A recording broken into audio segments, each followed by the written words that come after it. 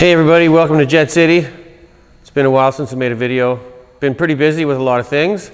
Um, mainly one of them that I'm going to try to, I'm going to explain it once I get some video of it, which is going to be in a few weeks. But otherwise, I was going to make a questions video this weekend.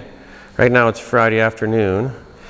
But why don't we go back to Monday and Tuesday where we were going to test run a J79 with afterburner Monday was a sort of a shakedown run, just to make sure it started and ran and stuff like that. We idled it. And then Tuesday we got up to military power and we weren't happy with some of the characteristics displayed by the sensor instruments, but it was raining. It was a really rainy day. We had some fun and I uh, turned the camera to show you the mayhem and downstream and the stream, the steam and the rain and the mud and all that stuff. And I just remember that I didn't make an intro to that. So that's what this is. Let's take a look at that footage right now.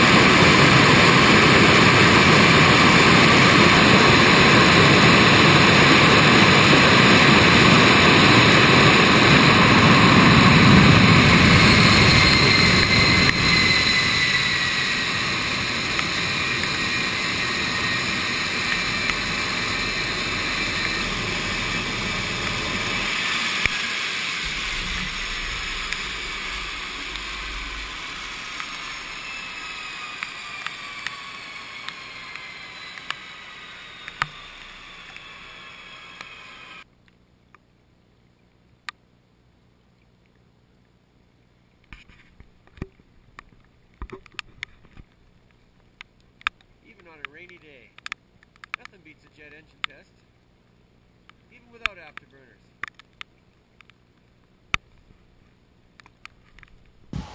Well, it's a couple days later. The weather's a bit nicer, but you can see that it continued to rain that day after we blew all that water away. And a couple things I want to mention just for fun. This is where the camera was, right there, basically. Pretty exciting. Anyway, the door is open, obviously. And in there, we're going to go in there in a second. Um, so when the engine started, I then picked up the GoPro to show you this and all the mayhem down there. Okay, so so I was right here, right there. And what I wanted to do after I set the GoPro is I wanted to just look, I wanted to look at the engine and it was at military power. I wanted to just, you know, peek around the corner and take a look, see? And I got, I got to here and my face started vibrating. It was so loud. So much more than loud. There is no word for it. Loud is not a good enough word. Anyway, my body said, no way. And I said, way, we're gonna take a look at that engine. So I'm hanging on, I got earplugs in, I got earmuffs on, I got my hands pushing the earmuffs against my head, and I'm trying to get around this corner. I'm trying to look, and the body's going, no way, no, you are not gonna do that. and uh, so there, there's no danger here, except for the violence and the loudness of the sound. It starts to feel like it's gonna hurt you. Um, like, it's like, I don't know, putting your head against an electric drill or something. There's vibration in your skull, there's vibration in your face, and it gets worse or, or stronger every inch you move, and it's like, you know that it's not gonna hurt you to look around that corner, because the wind, the wind starts about here. So you got four or five feet of, of space where you're, you're not getting any wind, it's just sound. And uh, the body said no. I, I did not succeed in my attempt to look at the engine. Couldn't do it. And I've and many times I've stood here at idle and whatever, but in uh, at military power or afterburner, you simply can't stand there. It feels like you're gonna die. Um, you know when you're at a rock concert, a big concert, and you're standing somewhere near the speakers and your your pants are vibrating. That's about a hundredth as loud as this. This is Anyway, I can't explain it. I've tried, I've tried, I've tried over the years. And it's just funny that I could not, I could not do it. I couldn't do it, and I've been here many times before. Amazing. All right, let's go in there. Okay, the engine is out, and it seems dark to me because I got my sunglasses on. But I don't know if it showed in the camera. I don't know if you guys saw it. This is a 3 8 inch thick piece of steel, a steel plate. Hear that? It's a big, heavy, thing. It probably weighs about 150 pounds. And it was leaning up against that stand. And it fell over. And I was standing 20 yards away. And when that thing falls over onto concrete, it's going to make a clang, bang, crashing, bang, bang, loud, ear shattering, splitting noise that uh, will be very unpleasant. I was standing right over there. This fell over. I watched it bounce on the concrete, and you'll see it on the camera, I think, if it was included in the shot. It was a GoPro, so I think so. Anyway, when it fell, couldn't hear a thing. It was the noise was completely drowned out by, well, the jet engine. I just think that's interesting. It's amazing. If you're interested in pictures like that, um, we got it from a guy named Dario. Okay, go there, infiniboudoirseattle.com to find all kinds of pictures of scantily clad and naked women with technology, nature, and uh, artistic settings. And all of them, even the naked ones, the naked women, your mom will probably let you hang that poster in your bedroom. You'll see what I mean. It's, it's, uh, it's not really pornography, it's more art. Anyway, uh, thanks to Dario, we traded him a couple engine parts for that. And you'll actually see a couple of his photographs feature the thing that we sent him, which wasn't one of those. Okay, cool. And we have, I'm going to bump one question to the very front. I got this question today. Normally, questions sit in my, in my pipeline for weeks and sometimes months before I get to them in a video. Uh, we're going to do one question today that came in today because I thought it was pretty interesting. And trust me, the questions are the questions are changing over time, so there are there are less and less prime cuts, so to speak, that I can choose from to make a decent decent video. So we're gonna erase Infini Boudoir. But go check out his stuff. So you know your question's pretty good if it bumps right to the front of the line. And now there are a few good questions coming up from weeks ago. But by and large, I get questions every hour of every day that I've already answered. And sometimes I break down and answer it again. But basically, all of those questions are in the video playlist called Your Questions Answered. Funny that. Okay, but this one's good. I did mention something about this in the video about the Orenda Type 10, which is just out of frame there, um, when you could see the glowing flame through the back of the exhaust, and that's, uh, that was called Ready and Running, I believe. I believe that's what it's called, Ready and Running, I think. It was from about a year ago. Anyway, this is from Tomb Master 972, and Tomb Master 972 asks Agent Jay Z, and he spelled it correctly. He didn't leave a space there. When you put a space in there, uh, automatic search engines can pick up the non-agent part of my name, and that other person who's a billionaire, I don't think he would be too uh, happy about my very, very close near infringement name, so I just don't want to draw his attention or any, any robot's attention to it, please. So please spell my name correctly. Thank you, and I hope to exist for a little while longer. Okay, Two Master 972. He says, Agent JZ, why is it impossible to see the flames in the combustor in modern civilian jet engines? That's a very good question.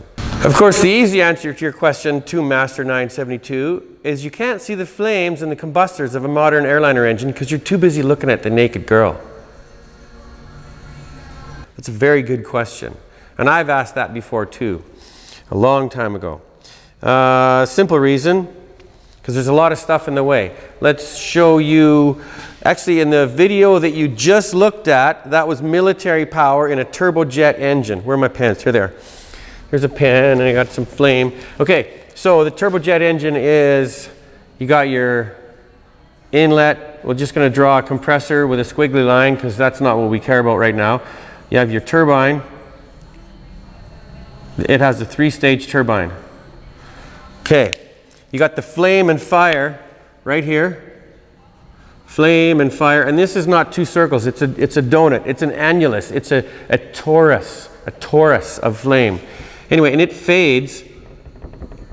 It fades because uh, the thing that everybody forgets about, everybody seems to forget about, is mixing air and cooling air. You've got a little bit of air going into, into the combustors and it's being burned with oxygen to make flame and fire and it's very hot and it will melt anything, any metal part in the engine, any metal part in the engine, Graham, will be melted by the flame. So you've got the, the cooling air mixes in mixes in, mixes in, and eventually you've got a thousand degree, 1100 degree air going into the turbine, so it won't melt anything. This is 3000 degrees. Um, uh, this is air color, so we're going to use green anyway. This turbine stators are in front of the turbine blades. Just going to draw one half because you guys have really good imaginations. Okay, so th that's a metal uh, just a second. So the turbine blade looks like that. This is actually a compressor wheel. Sorry about that, but you can't really see through it. That's just one of these black things. One. Okay. Junk, don't worry about it. Um, so in front of that is a row of stators. Stator, there's some stators right there. Okay, pay no attention to the race bike or the mess, but these are stators. So those are, those are um, compressor stators. They don't block off a whole lot, but you can see that six stages of those all in a row, it's gonna mess up your sight of things. There you go. Even better, folks, there is a set of turbine stators out of a T-58. So they block off just about everything. Now imagine looking through six stages of that. You can't even see anything through the first stage. Can you? Really? Just a slight amount. So if you had six stages of that, six or seven sometimes, and even more in a, three, a three spool engine like an RB211. But uh, there's no way to look through that.